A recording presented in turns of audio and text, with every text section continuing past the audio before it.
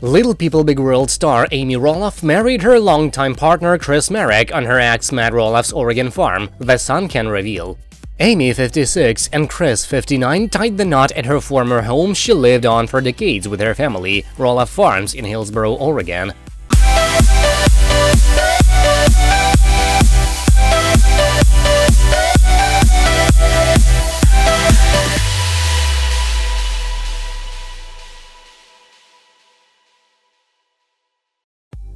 The LPBW star looked stunning in the intimate ceremony surrounded by 100 of their close friends and family.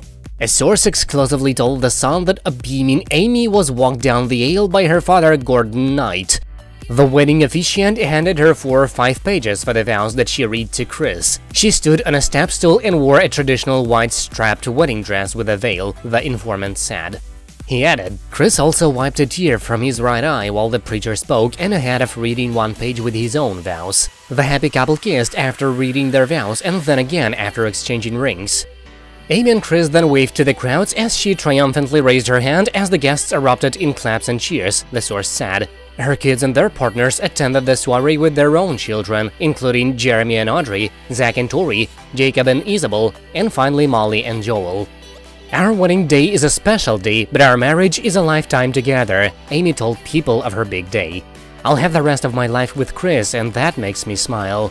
The TV star admitted that it had been challenging planning a traditional wedding, but that ultimately it was about her and Chris. She explained, it was challenging planning a traditional wedding and all that typically goes into that to what we want to have at our wedding. Sometimes it felt like the two clashed at times for me, but in the end it's about the two of us, Chris and I. It's about combining our two lives together into one and sharing it with our family and friends. One notable absence from her big day was ex-husband Matt and his fiancée Karen Chandler. Though Matt personally asked Amy if she would want to use the farm as an event space for their wedding, she did not invite her ex to the nuptials. Back on July 8th, Amy went on Instagram Live with her pal Lisa Dixon and she shared the head-turning news that her children's father would not be there. It kicked off when one fan asked the TV star, will Matt and Karen be at the wedding? Amy replied, no, no, just too much history, and I wouldn't want my ex at the wedding with his longtime girlfriend. Their lack of an incitation came despite the fact Matt built the altar for her wedding on the farm which he owns. Matt, 59, took to Instagram earlier this month to share a photo of a brand new building under construction on Roloff Farms. The reality star snapped a picture of the new structure that served as a wedding venue for Amy and Chris's nuptials. The wooden building featured a large barn door-like front entryway and huge windows overlooking the property. Matt captioned his post, racing at full speed to get the new building finished before the big day, Amy Roloff and Chris' wedding day.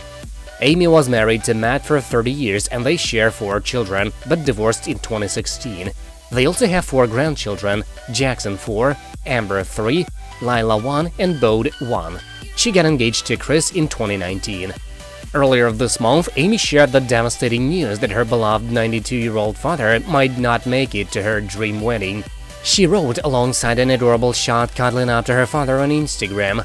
My dad, he's 92, he's been in the hospital for the last two weeks, not sure if he will make our wedding. I'm glad he's home now getting better and stronger, but God knows and so I am giving it up to him. I'm just happy I'll get to see him again in Michigan, at least. I love my father. That's it for now, thank you for watching, please subscribe to stay tuned.